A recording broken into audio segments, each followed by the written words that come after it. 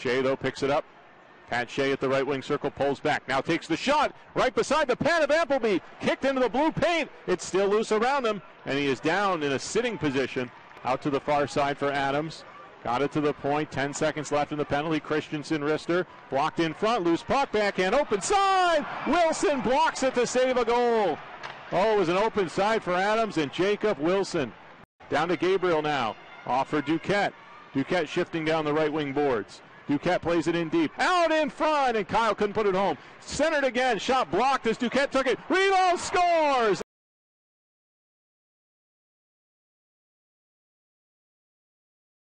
Railers cleared around but not out. Kept in by Voye. Over to Chiquan.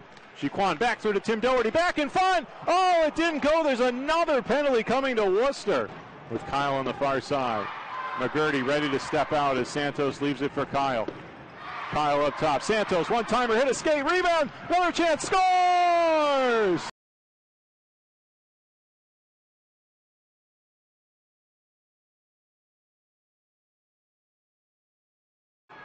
It a home run pass intended for Traumax, but he's headed off at the end of his shift. Back in comes Adams. Adams bouncing puck in the slot. Back backhand. Saved by DiPietro. Around for Kyle. Pushed it in behind to Heinem. Heinem escaping Turchiev in a battle of 20s. Heinem once again gets away and pokes it to Kyle. Kyle down in the left wing corner is going to skate it all the way out top and spin and fire deflected by Heinem. Grabbed there by Gabriel. He'll shoot. Scores! Grant Gabriel.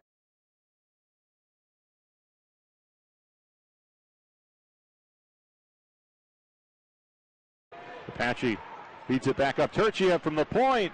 Scramble in the slot. DiPietro a couple of saves. Butler jamming away. Rolls off the top of the net.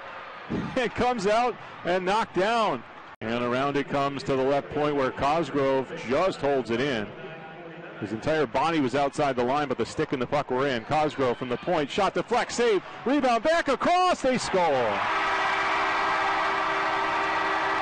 And now we've got a scrum after the goal, and everybody piles in.